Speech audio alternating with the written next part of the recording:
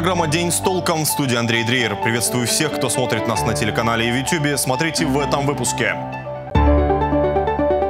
Как правильно носить маски и что будет, если не там снимать? Рассказываем про главный способ защиты от вируса. Управляющая компания уверяет, все устранили. Квартиры барнаульцев три месяца топят канализационные стоки. В Барнаул привезли экспонаты для нового здания художественного музея. Когда их можно будет увидеть? Это может шокировать. Накануне в сети появилось видео, автор которого идет по больнице мимо трупов, завернутых в черные пакеты. У нас трупы лежат. Все ковидные. Минздрав региона не стал отрицать. Видео снято в 12-й городской больнице, где размещен ковидный госпиталь. В ведомстве отметили, в крае сейчас работает 8 патологоанатомических отделений, где проводят вскрытие погибших от коронавирусной инфекции. Два из них находятся в Барнауле. Видео прокомментировал и главный патологоанатом края. Он рассказал, что всех умерших от COVID-19 по закону требуется вскрывать, а их количество стало расти. Важный момент. Не всегда родственники сразу после вскрытия могут забрать врачебное свидетельство о смерти или тело умершего пациента. Некоторые располагаются в других регионах, находятся. Некоторым нужно время, чтобы приехать. Врач отметил, что его коллеги работают в две смены без выходных и делают все возможное, чтобы ускорить процесс. А между тем, за сутки в крае выявили 205 новых случаев заражения коронавирусом. Кстати, теперь в официальную статистику будут включать и бессимптомных больных. Ранее в списке инфицированных они по каким-то причинам не входили. Сообщается, что за сутки в регионе умерли 9 пациентов с диагнозом коронавирус. Из хороших новостей за день выздоровели 299 жителей края. По-прежнему в ковидных госпиталях много тяжело больных. На данный момент 364 человека, 136 пациентов подключены к аппаратам ИВЛ.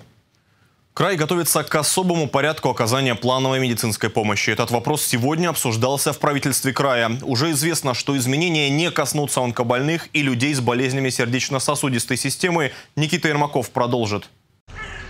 Экстренная помощь больным ОРВИ и COVID-19. В такой режим переведена система здравоохранения региона. Врачей для неотложной помощи и помощи на дому не хватает. Именно поэтому барнаульцам приходится иногда подолгу ждать медиков. Для того, чтобы помочь первичному звену, для того, чтобы осуществлять неотложные вызовы, а, нам необходимо привлечь и специалистов по другим направлениям, сегодня работающих в поликлиниках. Количество терапевтов очень сильно сократилось, но при этом э, количество принимаемых приемов оно увеличилось э, кратно. При этом это все пациенты с симптоматикой ОРВИ. Как таковой остальной прием я физически не могу обслужить. Поликлиникам сейчас самим бы кто помог. Руководители медучреждений отмечают, в обычный день было 25 пациентов, сейчас 90. Частично прием перевели в онлайн-формат. Например, в поликлиниках номер 14 и 7 выписывают электронные рецепты. Часть потока взяли на себя колл-центры. К слову, главврач станции скорой помощи Барнаула Андрей Посекунов предложил создать единый колл-центр. И этим вопросом уже занимаются. В то время как узких специалистов сейчас не хватает и в красных зонах. Количество пациентов среднетяжелых и тяжелых увеличилось если в цифрах относительных за 10 дней это на 40%. Характер пациентов изменился с ковидом за последнее время. Большая часть вот из э, среднетяжелых, тяжелых и крайне тяжелых – это коморбидные пациенты, которые требуют э, помимо участия традиционно пульмонолога, инфекциониста, еще и узких специалистов, которые действительно сейчас ну, участвуют в том числе в оказании плановой помощи. И тут их руки, и головы, и знания, конечно, нашим пациентам пригодились бы в случае, если мы ну, ну, таким образом перестроили работу. Если в государственных э, учреждениях приостановлена будет плановая помощь, то, конечно, первое – это высвобождение медицинских работников, ну а второе, конечно же, мы все-таки минимизируем контакт Роспотребнадзор поддержал идею Минздрава временно вовсе отказаться от планового приема. В крае активно перепрофилируют медицинские учреждения. А коечный фонд уже составляет 4655 коек. Однако губернатор подчеркнул, подойти к этому вопросу нужно взвешенно. Так он внес предложение, чтобы реформация не коснулась онкобольных и людей с болезнями сердечно-сосудистой системы. Очень важно донести главную мысль. О том, что без медицинской помощи, помимо тех, кто занимается ковидом, ОРВИ, гриппом и прочими похожими ОРЗ, значит, э, у нас люди не остаются.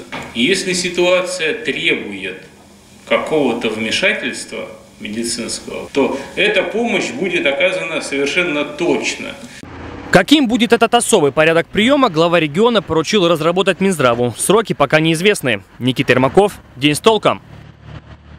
В Рубцовске больше часа простоял троллейбус из-за того, что пассажир отказался надеть маску. Работникам транспорта даже пришлось вызвать полицию. Проверки соблюдения масочного режима сейчас идут по всей стране. Мы решили напомнить, что будет, если вы не носите маску, а также что будет, если носите одну и ту же маску больше двух часов, расскажет Ирина Корчагина. У нас маски разных размеров. Размер S для самых э, маленьких. Многоразовые, защитные, еще и на порядок дешевле, чем во многих магазинах. Маски в благотворительном фонде «Облака» начали отшивать еще в марте. За это время фонд подарил и продал более пяти тысяч масок. Сейчас, говорит Анастасия, наступила новая волна спроса на маски. Их стали заказывать в три раза чаще. У нас есть свой швейный цех. Это тоже наша программа, в которой участвуют наши женщины-подопечные. Благодаря э, этой работе у них появляется возможность зарабатывать дополнительно для своей семьи, для своих детей, чтобы их обеспечить и прокормить. Многоразовые маски сделаны из хлопка, они гипоаллергенные и экономичны, однако даже если такую маску носить более двух часов, она сама становится источником заражения. Если длительно использовать э, маску, да, по ее назначению, то есть длительность ее непрерывной носки будет превышать 2 часа и более, то, конечно, медицинская маска накапливает в себе не только болезнетворные микроорганизмы, но также это накопление идет влаги, это накопление идет аллергических э, каких-то микро- и макроэлементов. И, соответственно, мы при ношении этой маски, да, длительном ее использовании, будем сами реинфицироваться. Вечные споры, с какой же все-таки стороны надевать медицинскую маску. Точного ответа нет даже среди врачей, каждый носит по-разному. Но, как нам пояснили в Алтайском спеццентре, белая сторона лицевая, потому что она считается гипоаллергенной. А вот синяя, как правило, обработана антисептическим средством. Носить такую маску можно до двух часов. То же самое касается и многоразовой маски. А вот в респираторе можно находиться аж 6 часов. Но для повседневной жизни он не практичен, потому что после использования его уже нельзя стирать и носить дальше. И, конечно, конечно, вот эти прекрасные масочки из магазина или их жалкое подобие. По-моему, то же самое, как натянуть колготки на лицо. Но если не делать хотя бы этого, нарушителям грозит предупреждение или административный штраф. Для граждан штраф в соответствии с действующим законодательством может составлять от 1 до 30 э, тысяч рублей. Все дела подлежат рассмотрению в районных судах.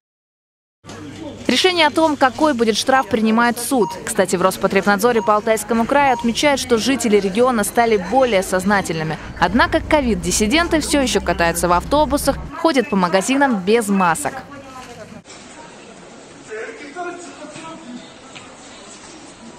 Это кадр задержания в петербургском метро. Парень отказывается надеть защитную маску. В Рубцовске на днях троллейбус простоял больше часа, потому что пассажир также капризничал. В этом случае мужчина еще и оплатит штраф за простой транспортного средства. А в Красноярске, например, пассажир вообще избил кондуктора за просьбу надеть маску. Кстати, в Новосибирске за отсутствие маски жителям уже пришлось заплатить более 250 тысяч рублей. В каком размере жители Алтайского края уже поплатились за свое упрямство, мы расскажем в ближайших выпусках. Ирина Корчагина, Алексей Фризин. День с толком. По собственному желанию и без принуждения за отделением диагностического центра края Андрей Рожанский покинул свой пост. Напомним, его увольнение предрекали еще летом, когда недовольные зарплатой сотрудники диагностического вышли на площадку перед центром.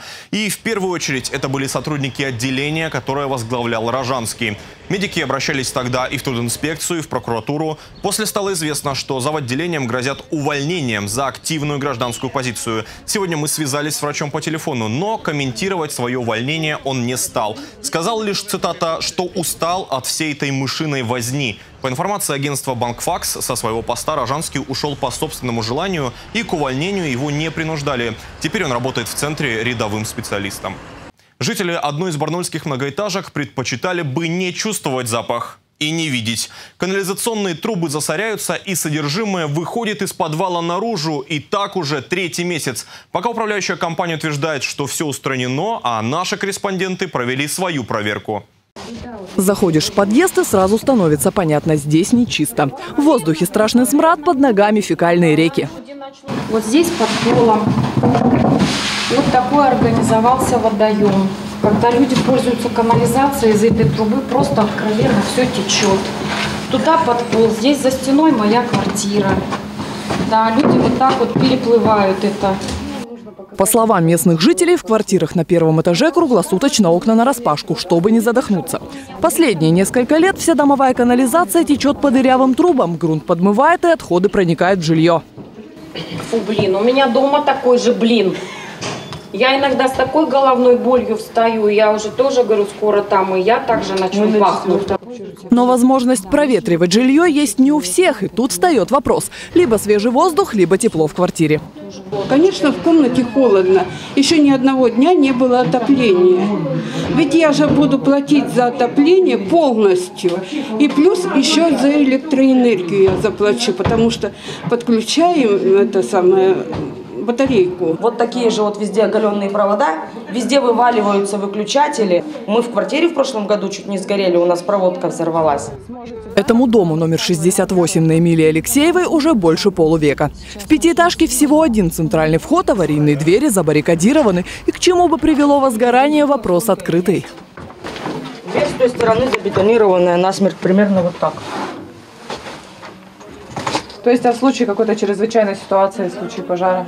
Или в домофонную дверь бежим, или из окон прыгаем. О своих бедах заложники зловоний говорили не раз. На днях жильцы выложили пост в соцсетях о своей беде, потому что у директора управляющей компании, говорят люди, есть дела поважнее. Что пьяный, то он пьяный. Потому что мы у него составляли акт, он нам составлял вот недавно, ну как недавно, месяц назад, о затоплении ну, неадекватный человек. Нас же руководитель компании заверил, проводка исправна, все аварийные двери открыты, отопление есть. Что касается запаха, то кажется, что мужчина сам уже запутался.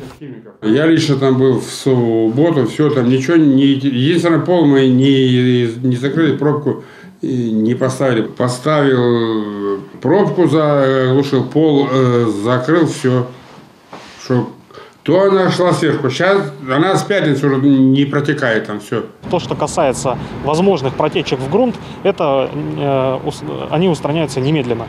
Вот. Если этого не происходит после обращения в аварийную службу управляющей компании, необходимо обратиться в Государственную жилищную инспекцию Алтайского края с заявлением.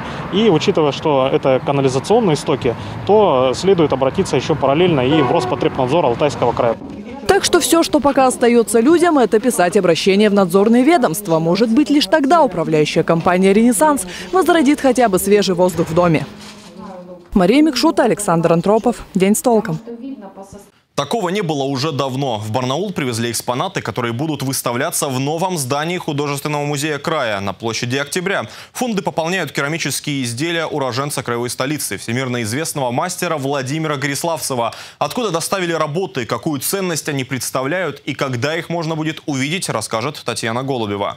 Все везлось через э, из Петербурга, специализированные машины с пневмоподвеской и так далее, и климат-контролем.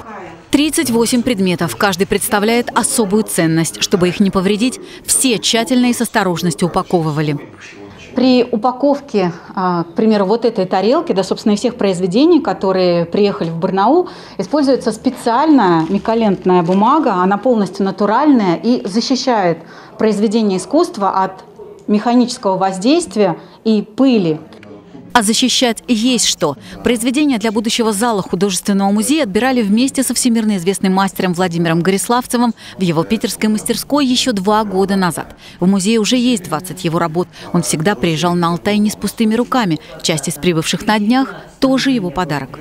Создавая такое здание, новое здание э, для музея, мы понимали о том, что в наших экспозициях, в наших фондах должна, должны появляться э, новые предметы, которые бы характеризовали наш Алтай, э, характеризовали нашу связь с нашими земляками. Не случайно все прибывшие в Барнаул работы известного художника и керамиста объединены двумя темами – «Солнечный Алтай» и «Строгий Петербург». Все это – объемная керамика. Направление активно развивалось в 70-е и 80-е годы 20 века. Каждая из тарелок или объектов участвовала в международных выставках. Инна Галкина готова говорить долго почти обо всех работах. К примеру, об этих окнах. В керамике окна и двери – это вот э, как-то, знаете, такая осмысленная по-другому очень э, ипостась архитектуры. То есть окно – окно в мир, окно, какое оно бывает разнообразное. До момента открытия нового здания музея вся эта красота будет храниться на специально заказанных стеллажах. Руководство надеется, что надолго процесс хранения не затянется, и встреча зрителей с произведениями искусства все же состоится. Завершение мы сейчас знаем по последнему конкурсу, который объявлен и, так сказать, официально стоит 22 э, год. Март, по-моему. Март 22 года завершение строительно-монтажных и всяких работ. Ну, может, к концу года заедем. Татьяна Голубева, Александр Антропов. День с толком. А на этом у меня все. Спасибо всем, кто нас смотрит. Для ваших вопросов, просьб и предложений работает наш телефон 205 545. Через несколько секунд о погоде. Спонсор прогноза – компания «Стройрегион». До встречи.